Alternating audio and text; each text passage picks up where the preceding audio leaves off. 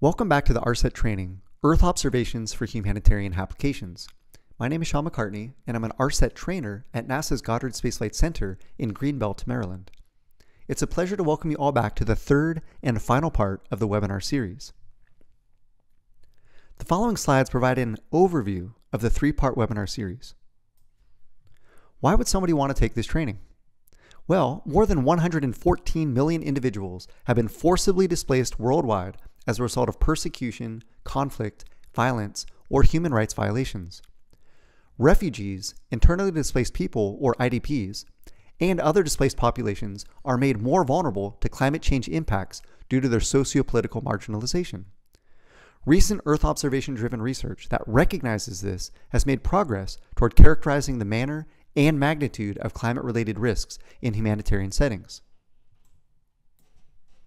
By the end of this training series, participants will be able to recognize the importance of measuring flood risk, long term heat stress, and drought effects in refugee and IDP communities around the world. Apply workflows incorporating Earth observations, geospatial, and demographic data to identify localized climate risk in refugee and IDP settings.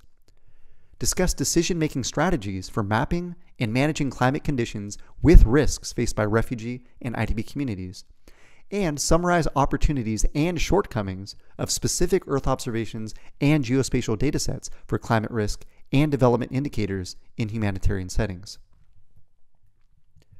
Prerequisites for the three-part training are listed below, along with links to each training.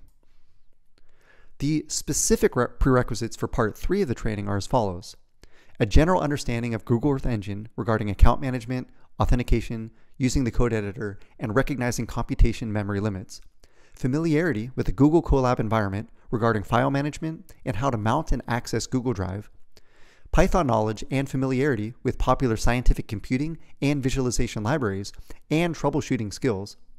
Experience with remote sensing topics such as biophysical remote sensing basics and commonly used sensors along with their characteristics and an understanding of commonly used vector and raster data formats and descriptive statistics. Over these three weeks, from June 6th to June 20th, there will be three one and a half hour sessions, which will include presentations, demonstrations, and question and answer sessions. All materials, code, and recordings from each session will be available from the training webpage. If you are not able to attend one part, a recording will be made available within 48 hours of the training day on the ARSET website. Homework is now accessible from the training page with a due date of July 5th. A certificate of completion will be awarded to those who attend all live sessions and complete the homework assignment by the given due date. Please put your questions in the questions box and we will address them at the end of the presentation and demonstration. Feel free to answer your questions as we go.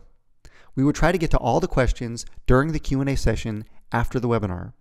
The remainder of the questions will be answered in the Q&A document, which will be posted to the training website by next week. It is now my pleasure to introduce the guest trainers for today's webinar. Sitian Xiong, a PhD candidate at Clark University, Dr. Lyndon Estes, an associate professor at Clark University, and Dr. Jamon Van Den Hoek, an associate professor, professor of geography at Oregon State University. Sitian and Jamin, over to you. Thank you, Sean. My name is Sitian. I'm a PhD candidate in geography at Clark University. Thanks, Sean. This is um, Jamon Van Den Hoek. I'm an associate professor of geography at Oregon State University and happy to have you all join us today with Sitian and Lyndon here. Um, we're going to be presenting on part three of this ARSET Earth Observations for Humanitarian Applications training, which is focused on tracking drought effects on agricultural landscapes in refugee settings. We're going to jump into the material here. Um, by way of background, um, this all of these trainings are focused on displaced populations. This one in particular is looking at uh, refugee settings. You know, this is a global uh, refugee displacement is a global phenomenon um, there are over six, uh, 36 million refugees across uh, 132 countries in the world. You can see the, the distribution here. It's um, broadly a, a sub-Saharan African, um, scenario of uh, refugee hosting countries, but of course we have um, many, many other countries outside of sub-Saharan Africa, also hosting countries across the Middle East, South Asia, Eastern Europe. Um, we have three settlements in um, the Western Hemisphere as well. Um, so we really have a, a broad um, sweep of environmental, climatic, social, cultural conditions across this whole range of, of refugee settlements that are illustrated on this map here. One of the reasons that we're undertaking this training today is to try to start really taking stock of some of the climate change impacts um, that are in some cases already occurring, but certainly um, expected to occur much more in much more intensive ways in, in decades to come. Um, this is a figure from um, the Xu et al. 2020 paper showing suitability change across the world, where the darker red uh, areas are those that are expected to be much less suitable for human beings. Um, this is the, the so-called human climate niche paper.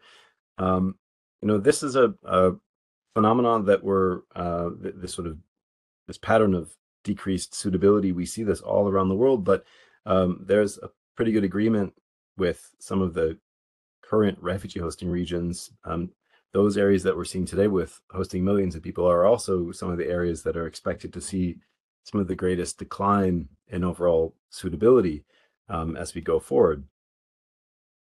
We're also really motivated uh, to do this study just simply because of the sheer volume, uh, the sheer number of refugees um, around the world. We're um, recent estimates, this is through mid 2023, um, point to refugees making up about a third of total um, forcibly displaced population around the world.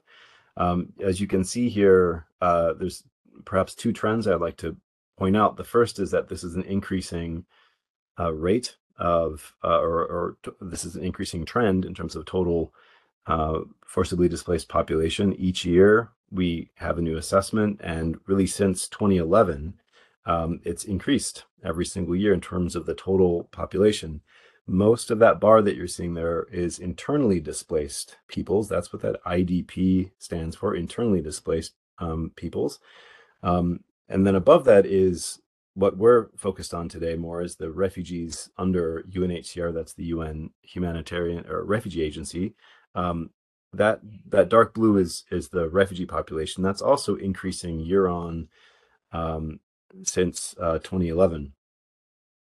Um, we're at a a stage now where refugees um, who have been forcibly displaced from their home countries due to violence or persecution um, while they've been granted protection over uh, an international boundary, or, or, I should say, over the the um, nearby uh, national border, they've been granted asylum protections. Um, these these kinds of uh, policies that protect refugees vary country to country. Um, there's uh, quite a range of different permissions that refugees are afforded. Um, we're going to be focused on one of the countries that has the most liberal policies. That's Uganda in East Africa. Uh, this happens to be the largest refugee hosting country in Africa. Uh, there's over um, estimates are at least over 1.5 million people. This is a, a another uh, estimate um, on the right there that that's putting total re uh, refugees and asylum seekers at uh, close to 1.7 million people. The majority are from South Sudan, um, though we have a large portion from Democratic Republic of the Congo as well. Um, as I mentioned, Uganda has its what's considered a liberal set of refugee policies. There are um, a lot of permissions that um, refugees have in Uganda. We'll talk some uh, about some of these, but one of these is that the refugee uh, population centers, uh, while they're rural, they're not called camps in Uganda, unlike most other refugee hosting countries. These are settlements um, where there's freedom of movement, there's freedom uh, to access land, there are livelihood opportunities that are centered in these communities. There are uh, ways of making money, there are ways of buying and selling things, just like a lot of other communities in the regions. Um, and this the, this sort of um, configuration of of how settlements are designed and the access that uh, refugees are given creates some new opportunities um, for self-sufficiency and food security that uh, refugees in Uganda have access to that that other uh, refugees in other countries um, perhaps don't. Um, one of the concerns is, um, of course, conditions such as drought are going to be uh, are already having some worrying effects of reducing access to clean and safe water, increasing malnutrition and hunger. And overall, um, there are a lot of um, concerns over sustainable food security in Uganda. We, we, as I mentioned, we do have this so-called self-reliance approach um, to supporting food security for refugees and livelihood uh, and their and their livelihoods in Uganda. Um, but this isn't a panacea. Um, we still have a lot of challenges of um, producing enough for, uh, for refugees, of producing enough food for their own consumption. Um, you can see one of these statistics um, where 35% of refugee households primarily rely on food aid to meet their basic needs. So that's external food aid. That's uh, food aid um, produced elsewhere and, and brought in um, directly to refugee settlements. Um, so there's a there's sort of a balanced um, there's a broader and you could consider it a broader portfolio of options to achieve food security in uh, refugee settlements in Uganda compared to other areas because of that access to land. Um, but we also have these external challenges in terms of changes in precipitation and temperature that's already being shown to reduce crop yield. Um, in uh, refugee hosting regions in Uganda. Um, we're seeing climate projections showing uh, greater likelihood of extreme events such as droughts and floods. Well, those are probably going to translate into decreased crop productivity. So um, there are some potentially serious, considerable challenges ahead in terms of really following through on the promise of this self-reliance, um, this uh, plan for self-sufficiency, plan for self-reliance um, that's being enacted through the asylum policy um, that that um, sort of dictates uh, refugee uh, the rights that refugees have. So that's that's really where we're coming at with this training is to try to think about how we can use uh, demonstrate how we can use Earth observation data to start pinning down some of these changes in precipitation and, and temperature and how those translate into impacts on, on crop yield. I'm going to hand it over to Sitian for um, background on some of the Earth observation approach as well as the coding walkthrough now. Thanks, Jamon, for introducing us to the refugee situation around the world and in Uganda. This is really important contextual knowledge and here's another map for your reference. It highlights the global crop conditions for major crop types. And we can see that many refugee hosting countries Jamon just talked about are in um, East Africa and Southeast Asia, where the crops in there were also listed as quite marginal condition. For Uganda, um, here, um, the entire country was classified as need to be cautious. So this is really calls for a closer and timely investigation. And for the rest of the session, I will discuss the Earth, the observation and demonstrate with the Python code and how we use it to understand general crop productivity and its potential interactions with climate trends, variations, and how we may apply this type of analysis in refugee livelihood settings. I hope this session will be helpful for you to design your own analysis or understand some of this type of analysis better. Using, using Earth observation to understand crop activity actually involves a, a variety of tools and interdisciplinary knowledge. So as you, you can see in this picture on the right, um, there is a maize field equipped with something mounted on it. So it is not for irrigation, um, actually, it's it's a ground sensor to collect the canopy development data over time. So, or maybe also have a um, multispectral sensor on it. So scientists are trying to establish some relationship between crop growing procedure with something that you can observe from the sky. So one relationship was found is between the leaf area, biomass generation, and optical bands that detected by sensors. So between the leaf area and biomass, there is a photosynthesis process. So the leaf or green leaf intercept the light and use it to accumulate biomass. So over its growing stage, a crop typically develops its canopy first, called vegetative stage. Then, as it moves to the reproductive stage, the leaves will stop growing, but the plant starts accumulating the consumable parts of the biomass, which are the crop yield.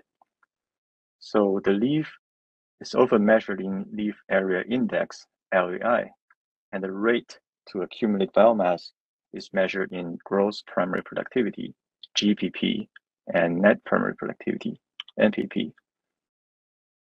And the leaf, or say, uh, leaf area index was also directly related to several spectral bands of a multispectral sensor. So at the red band, the chlorophyll had a strong absorption, and near infrared band, the leaf cell structure had a strong reflection. So the NDV, so the vegetation index, such as the normalized difference vegetation index or the NDVI, make use of these characteristics and have a simple and summarized indicator um, to infer the leaf area index and therefore the GPP, NPP, and biomass. And of course, some other bands, red edge here, and short wave infrared, or even other type of sensors like radar, LiDAR that capture some other aspects of the crop growing, such as the physical structures of a plant, also could be very useful, but um, it's not the, the scope of this training. So another thing about the NDVI is that the value may saturate in the dense canopies or impact by the soil colors. So there are some other vegetation index designed to overcome these issues, such as soil adjusted VI or enhanced VI. So this is a typical NDVI trajectory of a season. So the blue is raw observation, and the red line is fitted curve. So first, the real of the, real NDVI is often not as perfect or regular shaped as a, as the fitted curve, and you will see the later in our hands-on, and as you can see in the in our later hands-on practice. This could be this could be caused by error, or it could also reflect the real field management on that cropland. So, for example, we see a small peak here, followed with a sharp decrease and then uh, it just come back uh, with a much wider peak, then decrease again. So maybe we can interpret this as the land preparation or clearing of the weed following with the planting, or we can interpret the, the first peak as just noise. But anyway, we know that the shape of a time series NDVI tells you something about the biomass change in a piece of land. So this is where the mathematics or ge connect to the study of crops. On the right, we have a table of some seasonality parameters that can be extracted from a annual NDVI curve. Um, and they do have physical meanings. So such as we can define the start of a season as a certain percent of green up on the curve, or the end of the season as a certain percent of green down. And also the NDVI under the curve can be um, in a season or say the can be interpreted as a, a um, accumulation of biomass over time um, or the general productivity on this land. So also for maize, the date of max NDVI uh, is found often related to the maize tasseling stage, and which the NDVI value from this stage will be very closely related, related to the final crop yield. So extracting these parameters and connect to the crop physical parameters at different growing stage is a major task for agricultural remote sensing, or say um, the major way that remote sensing can be used for agriculture related study. Okay, so that's all about the biophysical part. And it just tells you that uh, why we can use NDVI to estimate biomass or even crop yield on a piece of land. And also what exactly are we looking at um, given NDVI time series.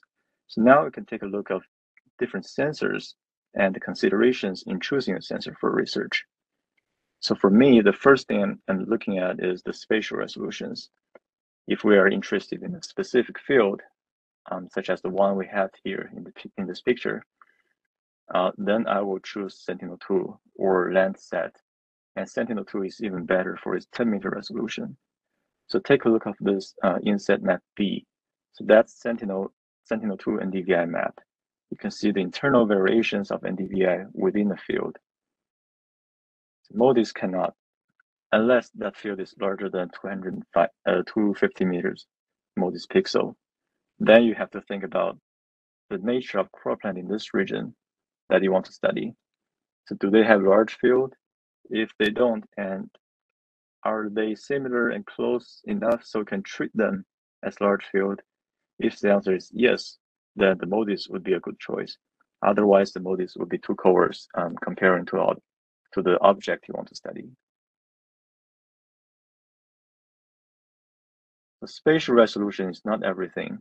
And sometimes you want to take a look about the temporal coverage and temporal resolution as well. So especially for long-term phenomena such as climate trend um, or interannual crop yield variation, you will need a long um, temporal coverage, a long record of data to capture the trend. So in this round, MODIS win because it gives you about a nearly daily observation and over 20 years of um, the record, whereas the earliest Sentinel-2 data uh, started only from 2015. So the MODIS in this figure is a 16-day composite um, data product in orange color. Uh, it is made from daily, but it is made from daily observation. So you rarely see a missing value in the time series that breaks the line. For Sentinel-2, shown in the blue color, uh, you rarely see two connected dots because most dots have missing value in between. And when I say missing value, I'm not saying there's no observations, but it is mostly because of cloud contamination. The cloud can, can happen a lot over a large, large region, especially during the rain season. Even for MODIS, you can see some missing values if we apply this cloud mask. So another thing we can see from this time series is Sentinel-2 and MODIS seems to agree very well. And combining those observations may give you a chance to restore the missing value by each sensor. And well, but this could be a more advanced topic, and we'll keep this sensor separately used in this in this training. But we do have to fill the gaps um, of these missing values, even if we don't care about the missing value at that day, because for some analytical methods, they need a complete and even regular time series to run. So there are a number of methods that can be used for restoring missing values. So it can be as simple as nearest fill, that means using its nearest neighbor to fill the gap. Or you can put more thoughts in this gap filling, gap filling process and guess the most possible value um, to the true value at that day. So maybe you can use a linear interpolation, assuming a linear transition of values between the dates. So basically, this is what gap filling about. Curve fitting sometimes includes the gap filling as part of it, but it's more about reducing the noise in the data. Or you have a shape of NDVI in your mind already, and you just want to adjust a bit using your point observations. So Savitzky-Golay or SG filter is a popular curve fitting method with a moving window that just smooths NDVI along the way. And it makes no assumption to the overall shape of the NDVI curve. So you can see the yellow and green smoothed line don't really looks like an NDVI curve that we've seen in previous slides. That um, and the peak seems always lower than the raw value. And also the seasonalities look strange. It looks like many uh, rocky hills, as opposed to double logistic model on the upper right, mimicking the single green up and green down process of an NDVI curve. But um, you can always adjust these models. So for this SG filter, you can still modify using some assumptions such as NDVI will not drop suddenly uh, when it's at peak. So then we can give higher NDVI, higher weight. So the curve will be pulled up um, a little bit and closer to a double logistic model. So in this case, it would be the, the green line. But what if the season really had two peaks uh, of NDVI, like two plantings? Then the basic SG filter might closer to the truth. So again, it would be very helpful if we have some in situ knowledge about this place, such as uh, seasonalities or crop management in this farm. So our assumptions in curve fitting will be more close to the truth. Okay, so far we've covered enough about the crop productivity, NDVI, and NDVI time series, and the data processing. Now we can take a look at the environmental aspects because that is a major source of uncertainty that impacting the agriculture outcome. So I, I want to combine this part with the detrending and regression analysis so we finish the introduction of this general method. Then we can have some time to look at our study area and code and talk more about our how we apply this method in a refugee setting. So we consider two uh, weather variables, temperature and precipitation, as they are intuitive and closely related to drought and floods and the interannual crop productivity variation. So this map on the left um, is the land surface temperature data, also collected from MODIS with its thermal infrared bands. And it's a daily one kilometer data. So similar to NDVI collected from the sky, satellite derived, weather variable data can also be subject to scale problem and certainty and reliability issues in the estimation. And in terms of sensor characteristics, the temperature and precipitation usually have higher temporal, temporal resolution but lower spatial resolution. So the precipitation data here we used um, in this training is called CHIRPS, and its daily precipitation data at five kilometer resolution. And in this training, we processed into an annual aggregation of precipitation. So just so, so you know that they actually as, as frequent as the temperature data. So for any long-term observations, we might have two separate concerns. Um, one is long-term trend a subtle process that may lead to a significant difference if we zoom out to a longer historical period, time period. And the other is short-term variation, uh, which are very perceptible and can bring a lot of uncertainties and shocks to daily life. So the method we separate the long-term trend and short-term variability is called detrending analysis. And it could be just as a linear regression against the data and you subtract the, the raw value by the fitted line. So then this fitted line is, is the trend and the distance from the raw value to this line is short-term variation, which we could which we call anomalies. Um, a, a, classical use of this detrending analysis is to understand maize yield response to drought in the U.S. over a century, as shown in the uh, in the figure on the left, this one. Um, due to technology advancement and many climate change, we see a huge improvement of maize yield from four metric tons per hectare to about 13, 13 metric tons per hectare in many states in the US. So um, that's the long-term trend. But also we can see a higher variation of this trend in the recent decade because of a more unstable weather than the earlier decades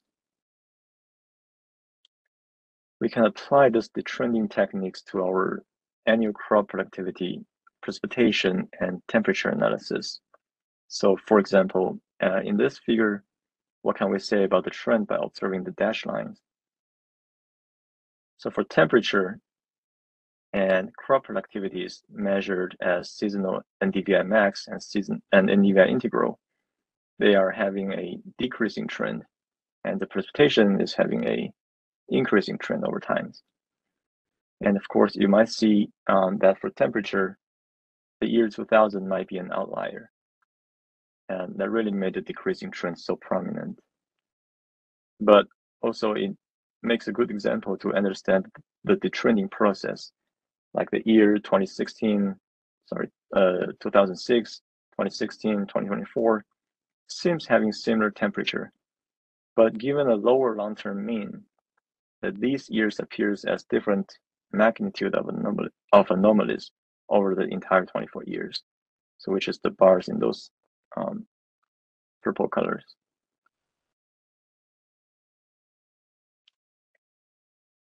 we can relate the temperature and precipitation to the crop productivity, if either the raw value or the anomalous, so to see if there appears some covariations.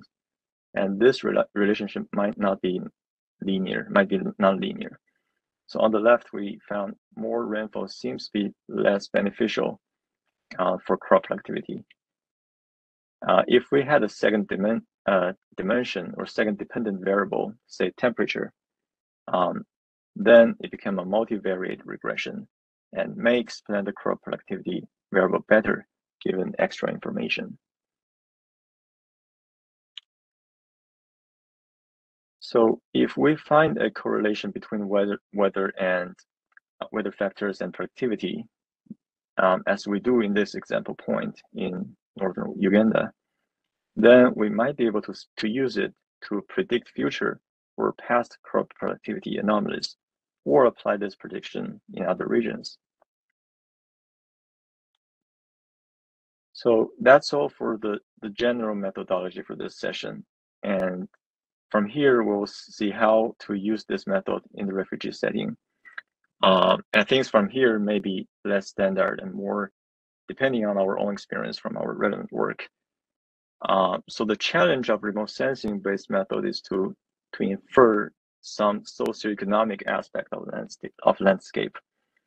So, for example, socially um, less privileged populations, such as smallholder farmers or some refugee populations, often um, cultivate smaller field or less or in less favorable locations like riverbanks. So, from the shape, size of the field, you might be able to locate this population using remote sensing observations with even zero in situ knowledge. However, this method would be very uncertain and the, the, the ver verification could be challenging. So this is why the spatial data of refugee settlement um, is so is so valuable. At least it directs you to a potentially more relevant region. But still, can you tell like up until what distance from a refugee settlement uh, the cropland will be non-refugee populations? And also, if we want to say something about food security, usually it's going to be related to the crop yield. But estimating crop, crop yield in many data sparse countries is difficult because first you even don't know where uh, what the crop type of that land is growing. So uh, this is why from the very beginning of the session, we focus on the general productivity and the variations. Essentially, it represents the biomass on that land and its variation instead of estimating the, the crop yield. So these are just some questions that, that you can keep thinking about in, in an Earth observation based approach. Another contextual knowledge is the cropland location change over time. Um, so the map here you're seeing is the University of Maryland GLAD, a global and global cropland change map from 2003 to 2019. And, and you can see the cropland usually expand to accommodate a larger population. And this happens all over the world and also in Uganda. So here's the Adjumani district of Uganda. So the stable cropland um, is mostly in the north and west, and there are some new cropland on the east. So your long-term analysis, maybe you want to examine the productivities on the stable cropland where there's no land cover change. Otherwise, the variation of biomass or general productivities could mean different things, and that does not necessarily mean the crop productivity. And this is a very commonly used analysis that in remote sensing community, which is um, analyzing the image on the image level instead of a point level. So we can do an image level analysis of crop productivity as well. So you can see the like the spatial pattern, the gradient, the change of crop activities and its, var its variations. But for this training, we focus on the single point analysis uh, because we want to focus on the concept of time series and regression analysis. Um, but we do recommend you to take a take a look of this image level analysis. Actually, we provide an optional Colab notebook that allows you to run an image level time series processing and analysis um, using the Google Earth Engine computing, cloud computing power. actually this makes even more use of Earth Engine's cloud computing power. So this figure explains um, the technology part, technological part of the workflow design. So if uh, we just use a point-based analysis, I would I would just use Earth Engine to pull the image and do some basic image processing, um, pre-processings, and get the point and get the point data offline. And then I'll put all the gap filling, curve fitting, um, seasonality extraction, correlation analysis, visualization in Python machine learning ecosystem. Um, like using NumPy, Pandas, SciPy, sklearn, Matplotlib for, for data manipulations. Um, if we're doing image at, if we're doing analysis at image level, then we probably want to keep the image on the cloud and also the analysis on the cloud. Uh, like do the gap gap fit gap fitting, filling curve fitting seasonality extractions on the Earth Engine as well. So, but that is not easy because the Earth Engine may just provide you basic data man man manipulation functionalities, and you have to implement the algorithm that are not readily available on Earth Engine. So uh, before we get into the code, let's just have a brief look at our goal and objectives. So our goal is so like my goal is try to make you that be able to run your own EO analysis or Earth of the Earth observation analysis to help decision making. And so there are a few objectives: retrieve and process satellite imagery for NDVI and weather variables, and process those NDVI time series and extract the crop productivity or seasonality metrics, and conduct anomaly and or actually conduct the detrendy analysis um, and calculate the anomalies and do the correlation analysis with weather factors. Um, and also, we are focusing on the uh, upper left part or northwestern part of the Uganda. And here is the Adjumani district. So this is um, what you should expect to get. Like for point-based analysis, we have a single point, or actually we're sampling on a single pixel uh, of a, from MODIS and Sentinel-2. And we extract the NDVI time series converted into annual um, crop productivities over time. And for regional-wise region-wise uh, analysis, which is optional, that you should be able to see something like this. So this is the the um, precipitation anomalies and trend. So it pretty covers, like I said, is like in five kilometer spatial resolution, but it reflects some of the spatial patterns, spatial um, change of this precipitation of a year.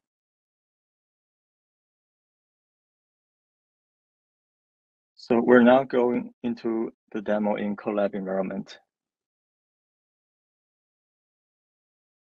All right, so this is um, our code. This is what you should see um, in the code. Uh, a few points before we get into the uh, the coding part.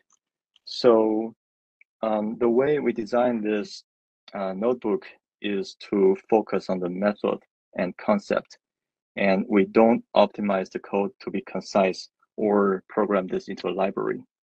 So that means the code could be very long. And you can see some page long functions has been defined. And so we're not trying to scare you. Uh, this is, uh, we can kind of hide this uh, functions, helper functions in a separate script. So you focus on the content, but actually um, we encourage you to uh, take a look of the process of the calculation or the data processing. Um, maybe you can even find an error inside and please let us know. Hopefully there's no errors. Uh, and also just feel free to, to adapt these functions, methods um, to uh, with with some creativities. Um, so this is completely open source. Um, you can free you're free to copy this code, uh, rewrite it, um, change it, and make them into a part of your analysis. So that what so that's that's work on.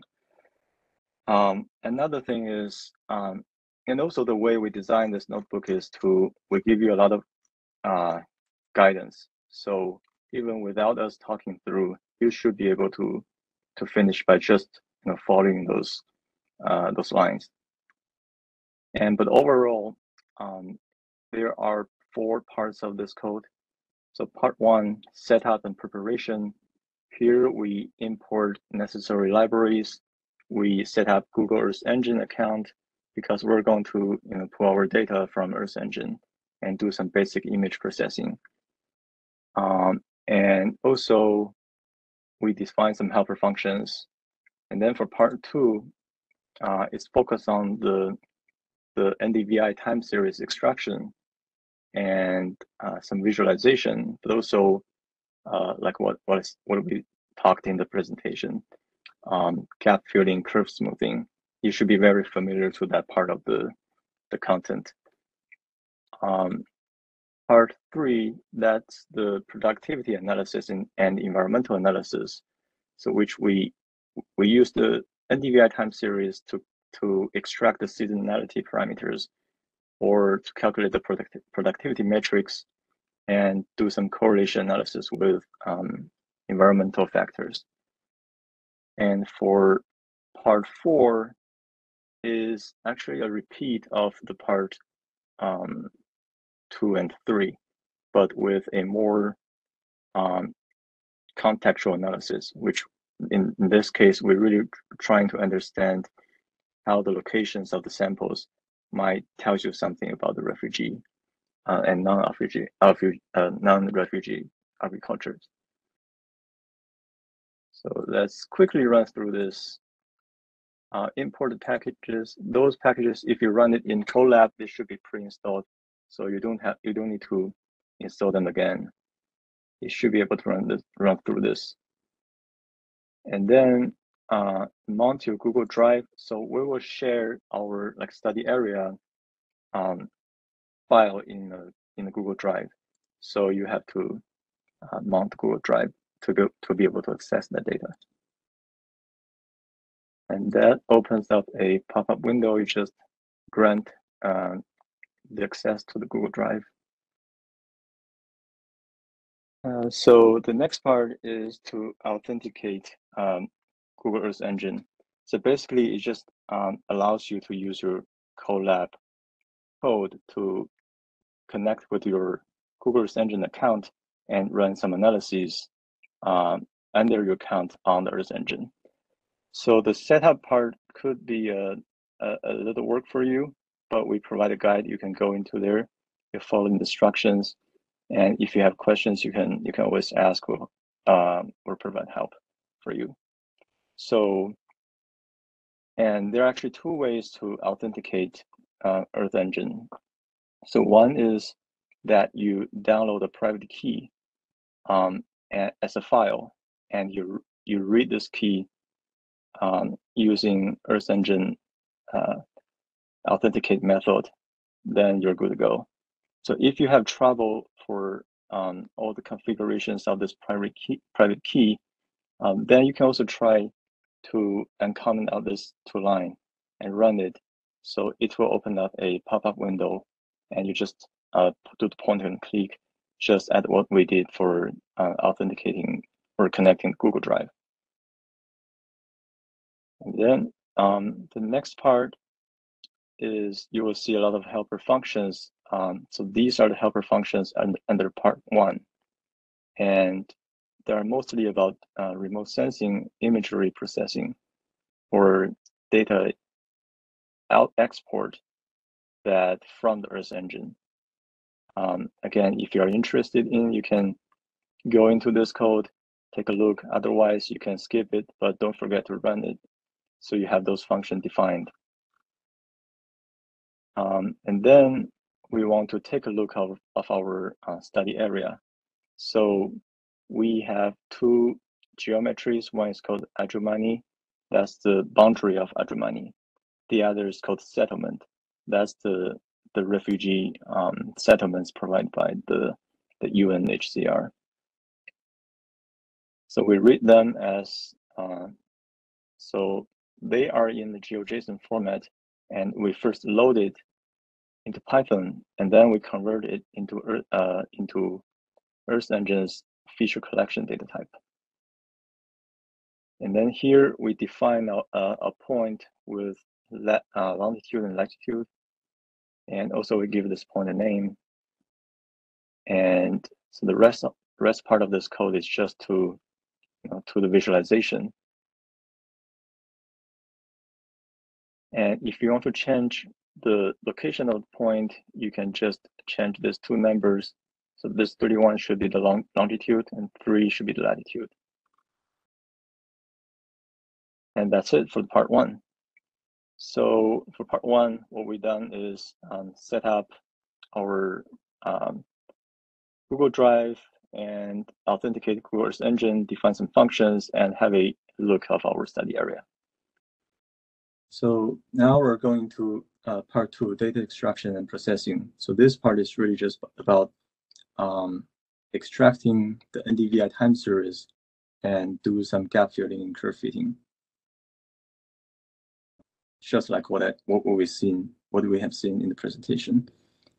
Um, so this is a typical workflow um, using Earth Engine is that you first, for example, load this Sentinel data product, then you let it pass through a sequence of functions, including like a spatial filter, a temporal filter, and a cloud mask. And also we want to clip uh, each image um, into the boundary of our Adjumani study area.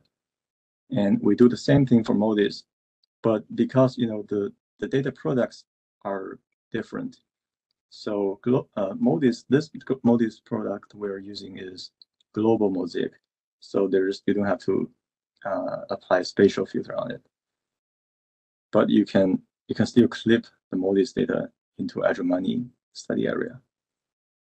And also do the same thing for annual precipitation, and MODIS land surface temperature. And so the next thing we're going to do is to extract NDVI time series from those imagery. Um, here we define more functions. Uh, that's just about part two.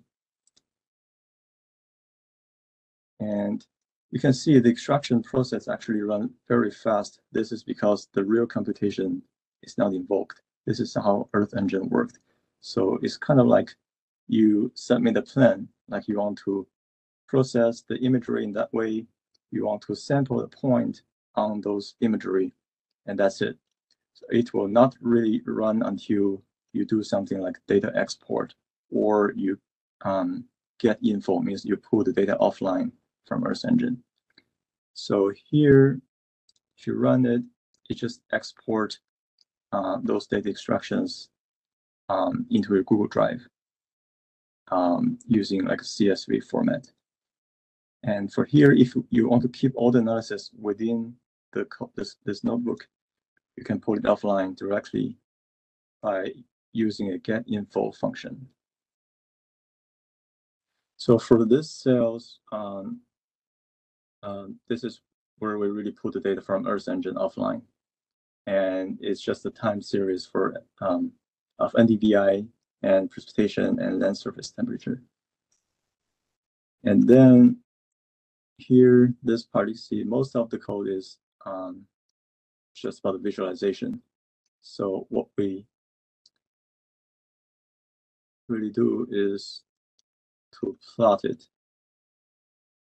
So we, we have two plots. One is the, the full time series. The other one is if you pay attention to here, we kind of uh, make it zoom in into the year between 2019 and 2024. And again, you should be very familiar with this, um, all of this output, because we've seen this in the presentation. And then this one combined, or say to just put the precipitation and temperature together in the visual with the NDVI time series. And this part is about uh, the gap filling curve fitting. So we have two different ways to fill the gap. Ne nearest neighbor, or, or say the nearest field, or interpolation. And then this is the uh, curve smoothing using the SG filter. Um, this is, and this is for MODIS. Sorry, this is for the Sentinel-2. And we do the same thing for MODIS. And that's it. That's it for part two. So by the end of part two, you should be able to have a uh, uh, a time series of both Sentinel-2 and MODIS and also um, precipitation and land surface temperature. So for part three, it's about you know uh, taking this time series and extract the seasonalities. Um, basically, it's just get the NDVI max for each year, and also the NDVI under the curve uh, for each year. Then we same as every part, we define some functions for this part specifically. Then we extract the seasonalities and do the um, seasonality. We do the, the calculations for the, the NDVI max and NDVI integral for both Sentinel-2 and MODIS.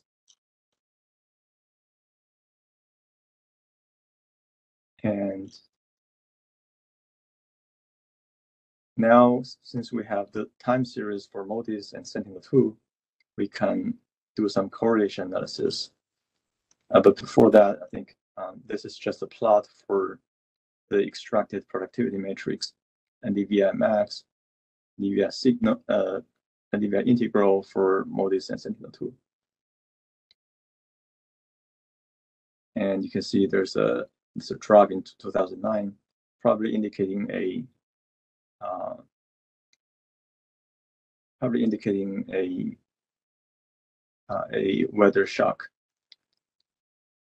And we do the trending analysis on the extract um, NDVI max and NDVI integral, and also precipitation and temperature. Again, most of this code are about visualization. And it's just the first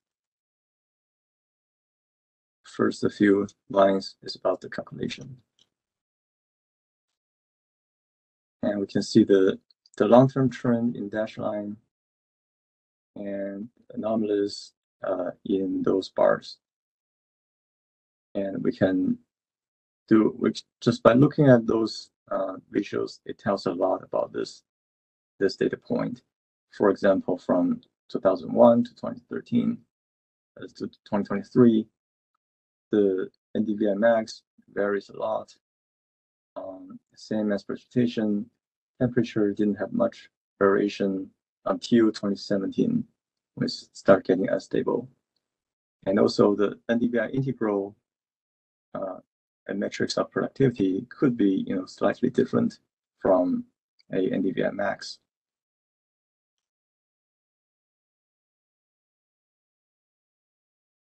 And then we can relate uh, this uh, time series of productivity with the time series of precipitation. And uh, on the left is the NDVI max, on the right is the NDVI integral. Using both of them to, to against uh, any precipitation, you can see a similar result. And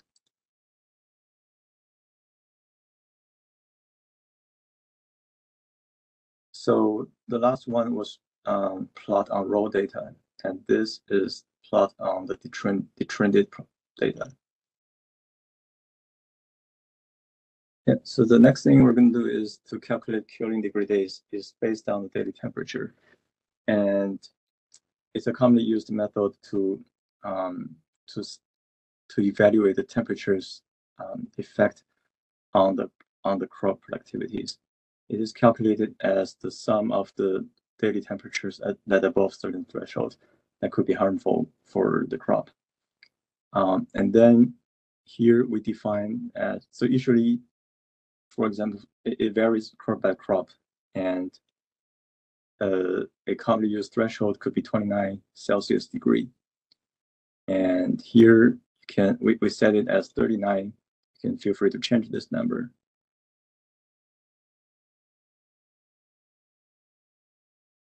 And then, so we compare this degree days with our um, NDVI max or NDVI integral anomalies, or essentially the crop productivity anomalies.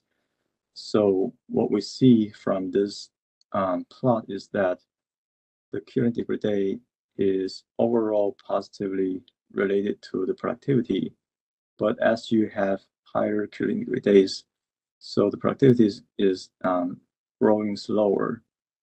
And does that mean the killing degree days is not really killing the the productive the crop will lead to a lower productivities? I think that's um, where you have need to have more thoughts. The first thing is the killing degree days we are calculating is on a very rough um, scale. Like we just sum summarize the those degrees over a year, not in the growing season, not for a specific growing season. And also, the killing degree days uh, might have more impact on the reproductive stage instead of vegetative stage. So the next part, we can do a multivariate analysis. So instead of analyzing a single variable such as temperature or precipitation, we can put them together um, to fit a model that might give you a more um, explanatory, more more power um, in explaining the variation of the productivities, and we can display uh, this analysis in different ways. We can use a three-dimensional um, plot where you have both um, precipitation and temperature effect on the NDVI trended integral with a polynomial fit or a linear or planar fit and or with your outlier removed so you can focus so you can zoom in um, majority part of the data.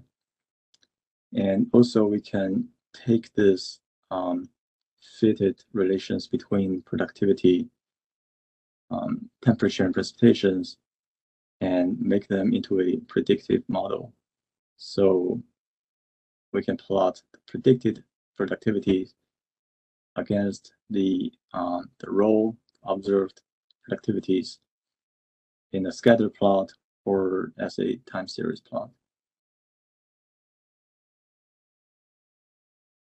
And so that's all for part three. So part four is is just a repeat of part two and three. But this time, instead of analyzing a single point, we can put multiple points. And also, these points can, we can put some of the points in a closer positions to the refugee settlement. And some points are more distant to refugee settlement to see if um, we can find some patterns in those different locations that potentially uh, represent the refugee versus non-refugee um, agricultural activities and their relations with um, weather variables. So here we define four points uh, with four pairs of latitude and longitude, and also we can give them a uh, different name. And then in this code, we're not going to repeat um, everything but we will do the calculation of the productivity for all of these four points. Here we extract uh, the temperature variables.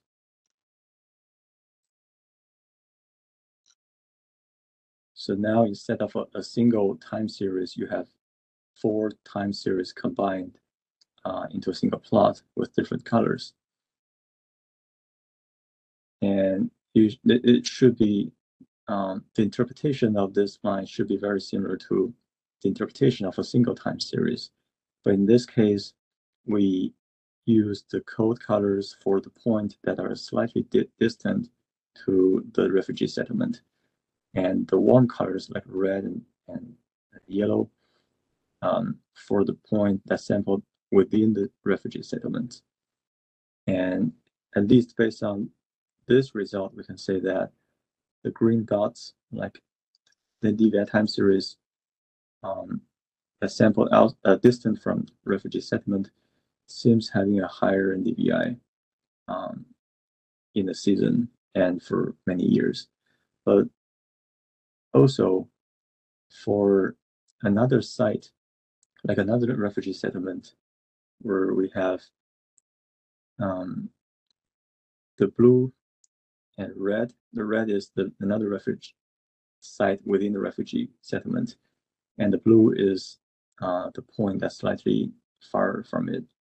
In this case, we don't see really the red or blue, um, which is higher. Sometimes the blue is higher.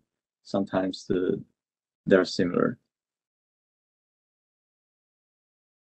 And the next one, again, this is just the raw time series of NDVI. We do the, so this time we just put uh, the gap filling, curve smoothing together with the seasonality extractions. And if you want to take a look of the processed uh, variable, it should be um, organized into a, a pandas data frame. And then we can do some visualizations. So again, so this time it might be easier to see the productivity difference. So on the left, on the right is seasonal uh, NDVI integral versus seasonal NDVI max in the four sites, actually two pairs of locations. So for refugee one, um, that's and for the refugee one, actually we don't see a very clear um, trend or we don't see very clear pattern like the refugee within refugee or outside refugee point, which is high having higher productivity. But for our site two, it seems like the green line indicating the point sampled outside of the refugee settlement is high in higher productivity uh, in most of the year.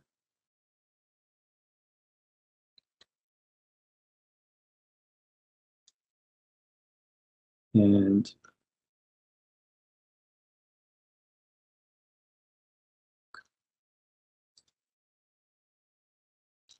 we can also um, do a detrending analysis um, for the productivities for these four points to see um, their like resilience or their variations of productivities over the year and try to say something about whether um, the refugee agriculture um, is more um, sensitive to climate change or not. That, that's all for the code run through. All right, let's come back to um, the post-coding reflection. Uh, we didn't really take a long time uh, or detailed explanation to those code, but um, if you really um, uh, read instructions and interpretation text that we put under each step of analysis, you will have a lot of questions and, and thoughts. So basically, um, what I, my reflection from uh, creating this workflow is, so when we do a point-based analysis, we should understand the, the scale. So we could sample on a Sentinel, we could sample on a Modis Pixel Zero, come with different size and represent um, different um, type or uh, the, the scale of the object that you are studying. And also we use um, proper activities.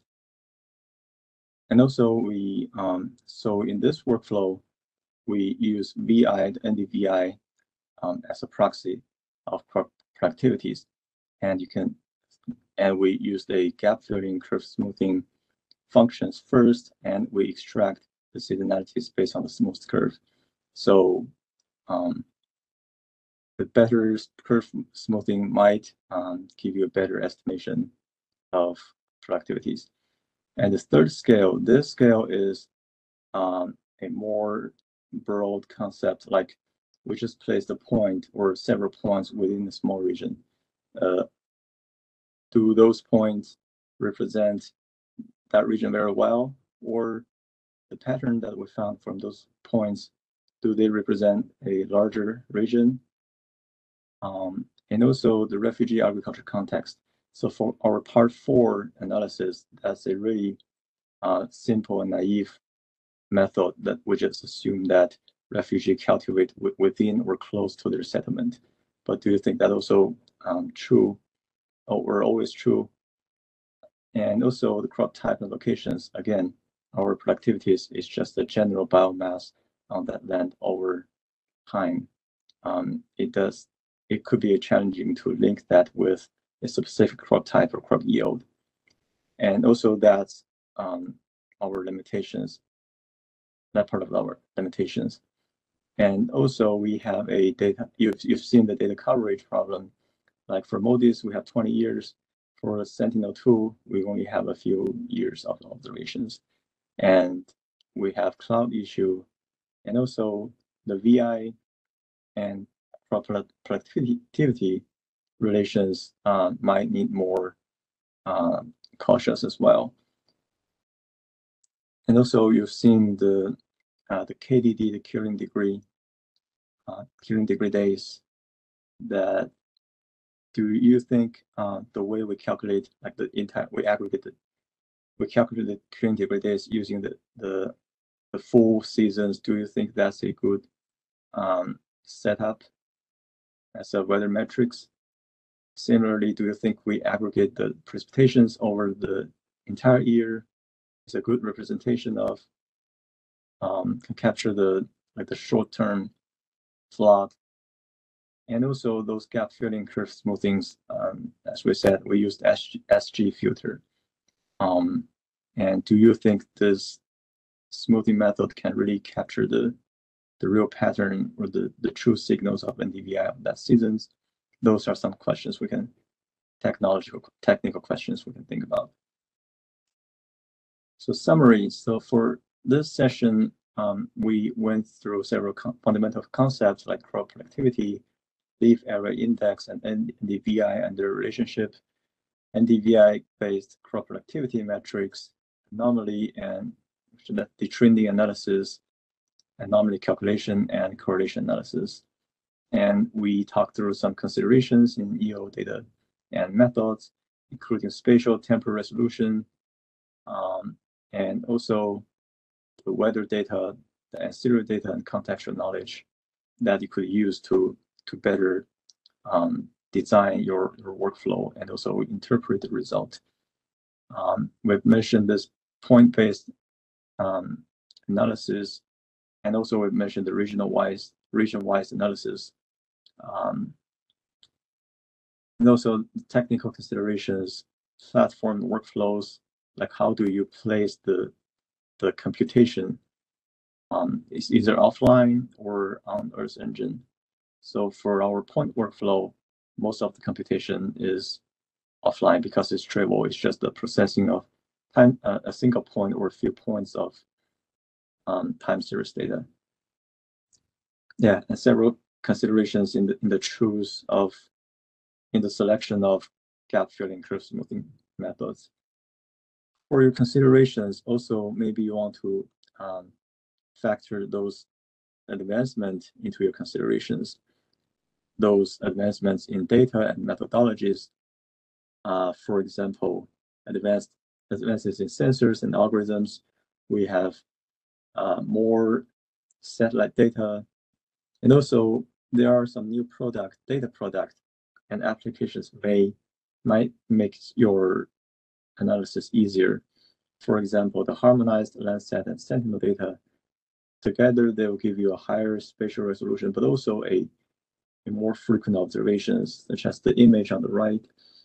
Um, you can see for many part of the world, uh, we can have a a at best like a three day data retrieval frequency. Uh, also, Digital Africa platform that give you some uh, process the data and also the notebook, just like what we showed here. They also have a lot of applications that come with in a in the Jupyter notebook form that help you to get started with your analysis. Since we mentioned that Google Earth Engine may just give you some basic um, data manipulation functions, but also there are some libraries now um, that give you a more um, choice of those data manipulation or an analytical methods. Um, but that's uh, the JavaScript you have to use in the Earth Engine editor. So better in situ data and ancillary data, where we have more a better uh, crop mask, so we know where are those cropland, and or say where we have more accurate information about the cropland positions, locations, and also we have some global soil moisture data, which uh, it's also important actually that also explains a lot of the crop productivity variations um, that get, uh, other than just using temperature and precipitations. And also the ground truth data, we might have more farmer survey, in situ survey to really um, get the local um, knowledge, such as um, where are they cultivating and what is or what crop what's what's a typical field management management techniques? What's a typical um, field calendars?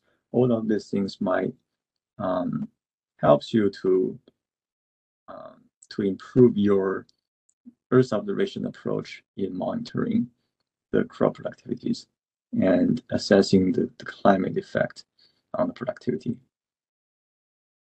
So now I'm going to hand over this to Jamon for his final remarks. Thanks, Sitian. So um, we have some really nice tools that Sitian's demonstrated about how we can develop some really place-based awareness of impacts on uh, crop productivity in uh, these refugee hosting regions.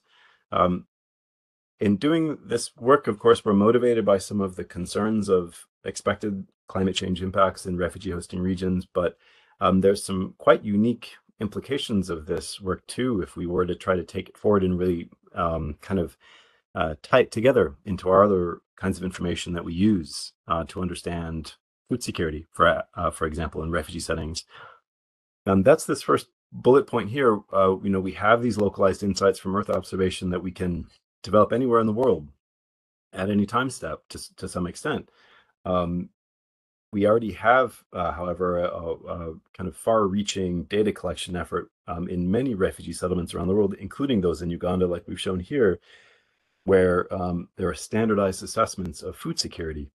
However, there's um, while those are done through um, surveys and interviews, um, there is sort of a disjoint between what we could say, what we could assess through Earth observation data, and how those um, current food security assessments are conducted. So there's an opportunity really to further integrate these Earth observation derived data at the landscape level, even at say the refugee household level, the specific plot that refugees are, are accessing and managing, and what we can say about that plot, say about the food security or the uh, the climate or the uh, I should say the crop um, productivity or the drought impact at that particular plot or or at that settlement scale uh, with the data that are already being collected in refugee households at the refugee settlement level, um, there's a, an opportunity there to really um, make better use of Earth observation data to, to um, connect those two different ways of assessing food security better.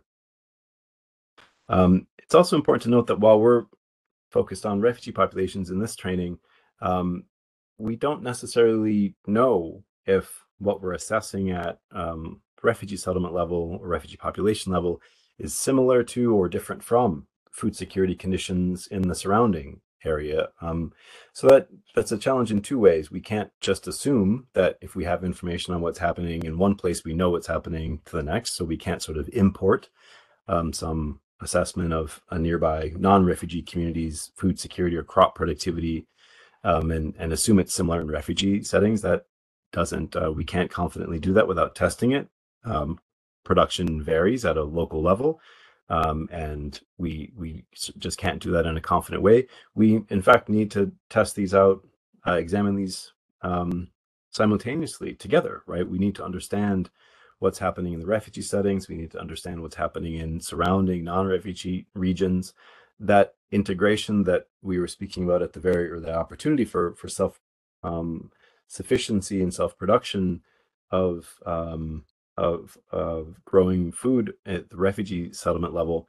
Um, there's market relationships. There are economic relationships between refugees and host communities, and knowing how those relationships are impacted, uh, the trading uh, relationships, how those are impacted by uh, drought impacts is, is a, a, quite an important part of this, not just to understand what's happening to refugees, but also what's happening to non-refugee host communities um, for uh, similar concerns. But of course, we would have um, perhaps different uh, sort of opportunities uh, for interventions or support um, for food aid um, or cash aid as needed.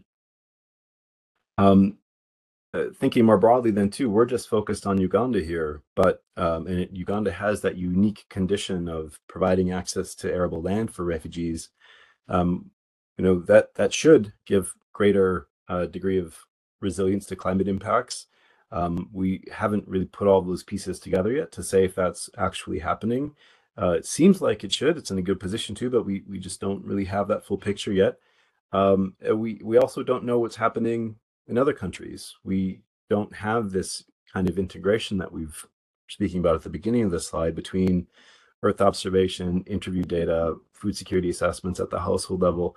So it's really a nascent um, effort to try to better tie all these things together to understand um, how conditions on the landscape affect local households, how food aid affects local households in terms of food security, for example, um, there's a lot of pieces to this puzzle, and, and we're really just uh, this Earth observation is a really important part of it that's uh, arguably underutilized. Um, uh, but I, I, think bringing all these pieces together, we should be in a much better place to sort of comprehensively say uh, what's happening um, at the refugee settlement and refugee household level with regard to um, to food security going forward. Uh, we have a list of references here. Um, take a look at these. These are listed throughout the presentation and um, would like to acknowledge uh, the people listed here for their support in pulling together this presentation. And um, I'll hand it back to Sean. Jamon and Sitian, excellent presentation and demonstration examining crop productivity and climate relationships in northern Uganda. Before we transition to the question and answer session, I want to remind you there will be one homework assignment which you will be able to access from the training page today. Answers must be submitted by Google Form with a due date of July 5th. To receive a certificate of completion, you must attend all three live webinars and complete the homework assignment by the deadline. You will receive a certificate via email approximately two months after completion of the course. Below is the contact information for Mr. Xiong, Dr. Van Den Hoek, and Dr. Estes, along with links to the ARSET website and social media. We hope you will sign up on the ARSET listserv to receive notifications of future trainings, and please follow us on social media. We will now transition to the question and answer portion of today's training. Please enter your questions in the question and answer box, and we will get to them in the order that they were received. We will post the question and answer document to the training webpage by next week.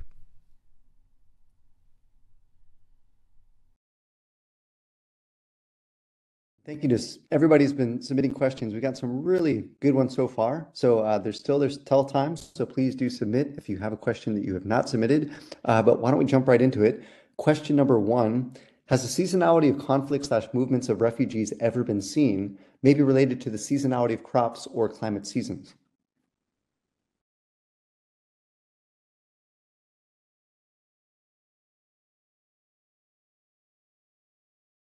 And whoever answered that, feel free to unmute.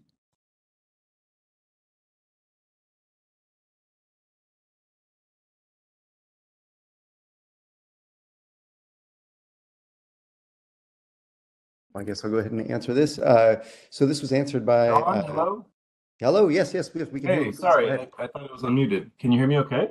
Yes, we can. Yes, please, uh, Jim, go ahead. Thanks. sorry for that. Um, I was saying this is a good question. Um, I think it's a little bit of an emergent line of thinking to try to investigate this in a systematic way. Um, as the written answer states, the key thing to remember here is that the movement, you know, refugees um, are uh, technically, legally, people that are fleeing conflict.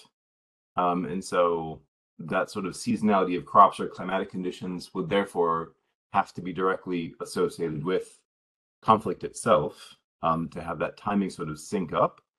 And uh, we certainly know of cases where that happens. I, I, include one, just you know, the sort of typical, which is lean season um, crop harvest raiding, um, which we see in a lot of different contexts. There's also in the um, Afghanistan context, there was the, the so-called fighting season, um, and that doesn't play out everywhere in the same way. Um, but certainly there are there are um, factors associated with food security, food insecurity um, that would be that would be coupled with uh, conflict dynamics. We're still sort of at the edge of really understanding how um, sort of climatic fluctuation um, affects specifically climate change impacts affects the timing and the magnitude and the type of conflict that's very very much an emergent sort of line of thinking with uh, groups on both sides saying that you know the, the relationships are not clear at all or they are very clear. So um, uh, but in any event um, we would have to have some correlation to uh, to the actual to the fighting um, that would drive to the violence or threat of persecution that would drive refugee movement.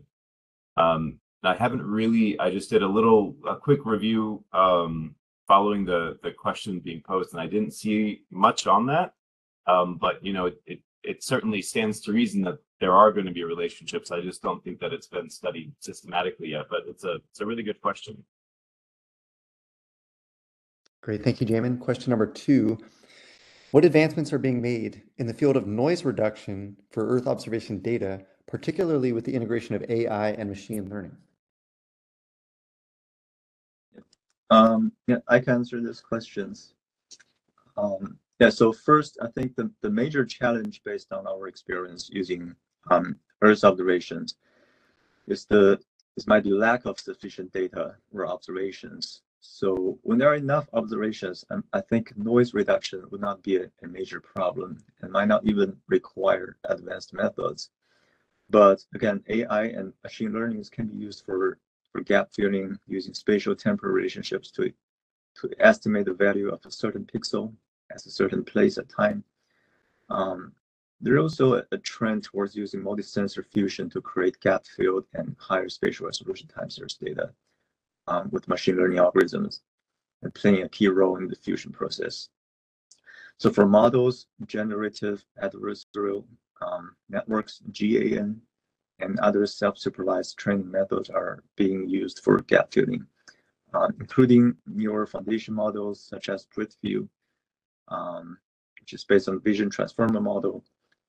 Um, and also, so if the goal is just for, for noise reduction only, then I believe we can follow a similar approach by leveraging larger data set and longer observation periods. We can better distinguish between noise and signal.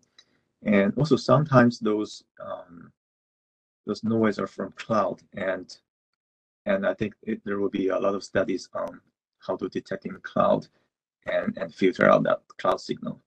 Yeah, that's my answer to this question. Oh, wonderful. Thank you, Sitian. Question three, uh, could you provide case study examples or refer to effective climate resilient strategies that have emerged from your research or experience specifically tailored to enhance agricultural livelihoods in refugee settings? Hi, um, yep, another good question. Um, the key relationships here that we're interested in is is just about any you know we would look after the same relationships in a non-humanitarian setting as well which is what promotes agricultural resilience um, and that's access to land that's access to productive land um, and access to markets um, with sufficient uh, labor to to um, undertake those those livelihood opportunities. In refugee contexts, of course, it's a little bit constrained um, because okay, my son in the background there. Um, we of course don't have those kinds of we can't take those for granted in refugee contexts. Refugees don't necessarily have access to land. If they do have access to land, it's not necessarily um, productive land. It could be marginal or degraded land. Um, and access to markets, socioeconomic integration is not just foregone conclusion. So these key ingredients have to be in place um, to for for refugees or really any community to develop this kind of agricultural, climate resilient livelihood. Um, I think I don't have the full tally, but really there's, by if I'm recalling correctly, six to eight countries that even allow refugees access to agricultural land. So this is this is definitely in the minority. Most do not have access to land. So in terms of building that kind of livelihood opportunity and certainly making resilient, um, that's kind of step number one is is providing uh, refugees access to land that they can actually grow crops for their own consumption or for sale. And I provide a couple of, of links there that um, that kind of look at this from a few different directions. But um, very good question. Thanks. Thank you, Jamon. Question number four. What is the definition of NDVI anomalies in this analysis? Yeah, um, so the anomalies here are really the, the residuals from linear trend that you have fed to the data so that you can isolate the annual effects more effectively. And so we convert the NDVI time series into, we also convert the NDVI time series into crop productivity metrics.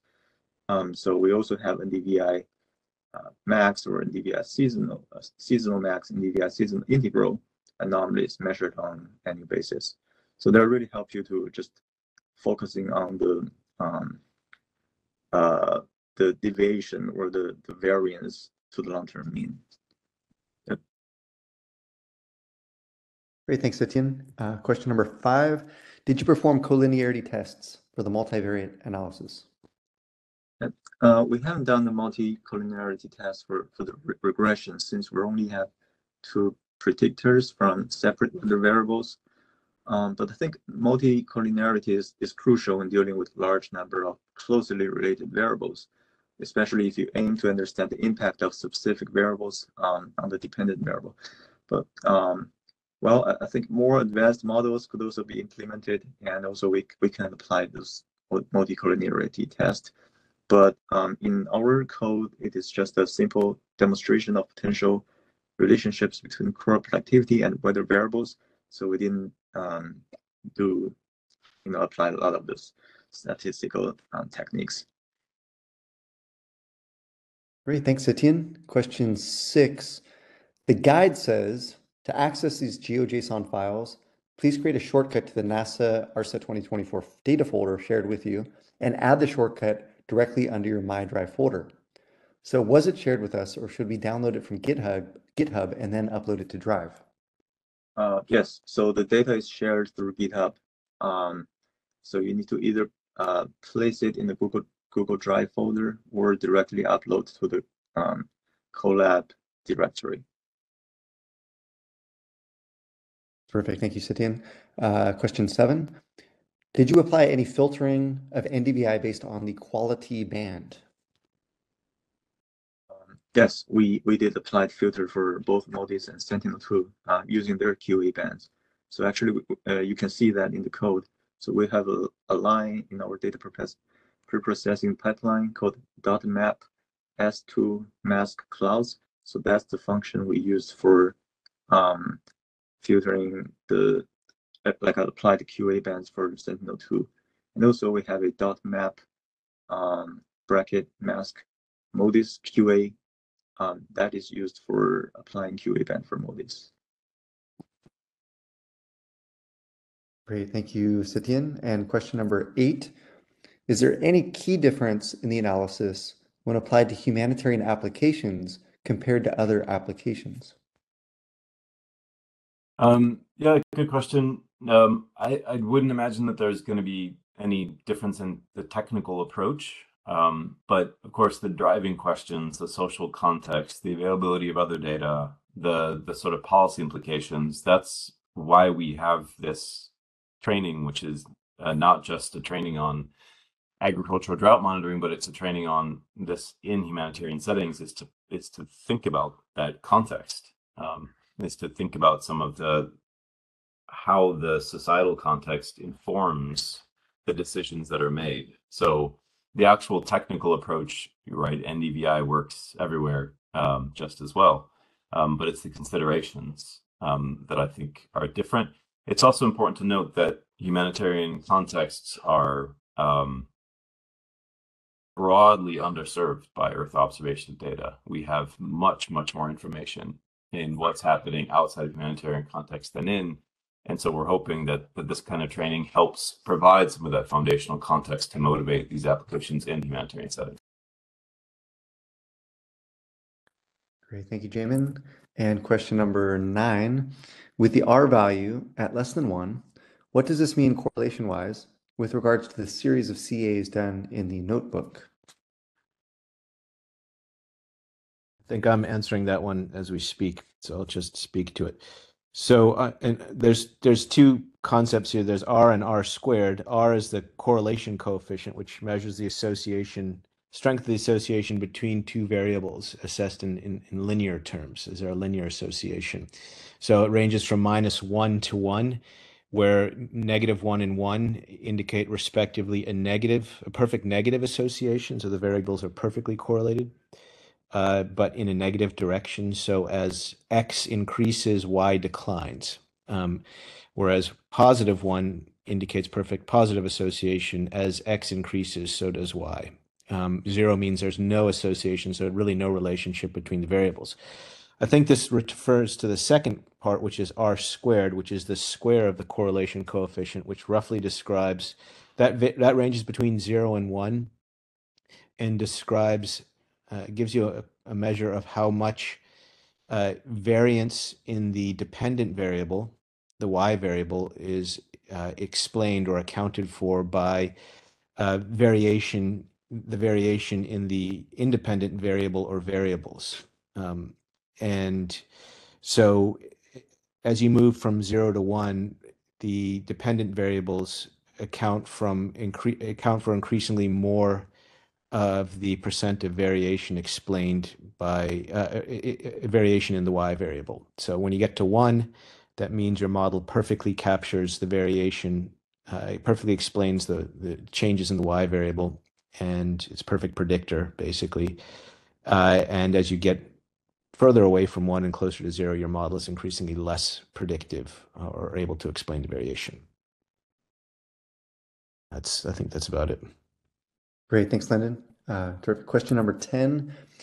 How have the recent EO advancements improved the pre-disaster preparedness and hotspot analysis? Can you give recent examples?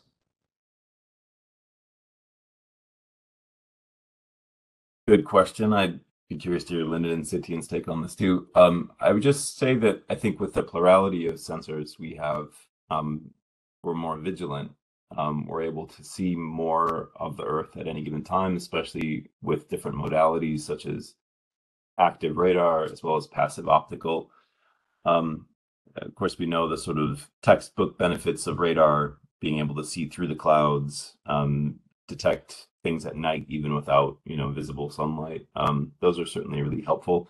Um, but I, I think a lot of the um, the benefits are also coming through different satellite modalities of uh, CubeSats, nanosats, small sats, uh, just more more coverage, um, more frequent visits at uh, different scales of data, at different resolutions. I mean, um, sometimes different, you know, uh, multispectral configurations give us different sensitivity um, looking at um, some of the more subtle, like red edge features or coastal blue bands, also give us uh, more more nuanced takes on things from from uh, new sensors as well. Um, so, I mean, the, overall, the greater coverage um, that we're provided with this ever expanding constellation um, is certainly helpful. On the algorithmic side, too, automated sort of first cut analyses are extremely helpful. So AI driven sort of uh, tip and cue frameworks where we can have a sort of blunt assessment of change, um, whether it's with regard we're thinking about disasters, something like landslide or or um, uh, flooding, um, some of these phenomena that happen very quickly and often um, without sort of advanced warning as well as with regards to the locality. Um, readily deployable models uh, that can help us detect those kinds of changes very quickly. Um, things like drought, um, again, I'm curious to hear from Lynn and Sitian, but but those, you know, those are uh, have a seasonal signal. Those are sort of longer term, slow, sort of slow onset disasters in a lot of cases. Um, those are, I think, is really where the strength of this training comes in. Is we really need to have that really well established historical time series to understand when we're starting to see these anomalous trends. It's not just a on off, you know, no disaster and then disaster. It it creeps over a long period of time. So, you know, uh, drought is is very very difficult to to address. Um, we don't have much recourse often for pretending to drought. We can map it and monitor it, but um, how do you stop a drought? Um, impossible as far as I'm aware. So, um, but curious to hear the other presenters' thoughts. Yeah, I could just jump in maybe with one example of how uh, Earth observation advances help. Um, so just I know you know work we've been involved in is just the increasing availability of high spatial and temporal resolution data make it increasingly possible to map uh, where people are farming and living with more you know with more precision, providing data that uh, is useful for things such as um, understanding like who's being who's potentially going to be impacted by by flooding. Um, so if a lot of places you don't have good cropland maps um, because it's been very hard to do with older generation sensors, and so now with new algorithms, particularly you know neural networks uh, applied to things like uh, planet imagery, which uh, is important for two reasons. It's got the basically the daily coverage which allows you to get at least uh, give you a better ability to assemble a seasonal mosaic uh, in really cloudy regions, which is quite hard to do with um, less frequent sensors. And the high resolution gives the ability to map, you know, smaller fields more effectively, so you can start to get a sense of where, you know, better sense of where people are farming. That's, uh, you know, more resolved than it was previously. So that really helps uh, people thinking on, on applications like that, like who's going to be affected when it floods, as one example. And similar, you can make a similar case for drought related issues too. Who's going to be who's impacted in this area where that um, is being impacted by, a, say, a flash drought, you know, short term drought that maybe is of limited spatial extent, which newer, um, you know, rainfall data sets, uh, satellite based data sets that give better weather estimates are more able to detect themselves. So you get a better picture of where the droughts might be happening. Great. Well, I want to thank everybody for one, for posing these really great questions, and two, for everybody for answering them so thoroughly. I uh, really appreciate it. Uh, that does conclude uh, this three-part uh, uh, webinar series. I wanted, before we wrap up today, I wanted to give all of the guest instructors an opportunity if they had any uh, maybe closing thoughts or comments to the participants that took today's training and also all three parts of this training. maybe Dr. Estes, if we can start with you, any any closing thoughts or, or comments?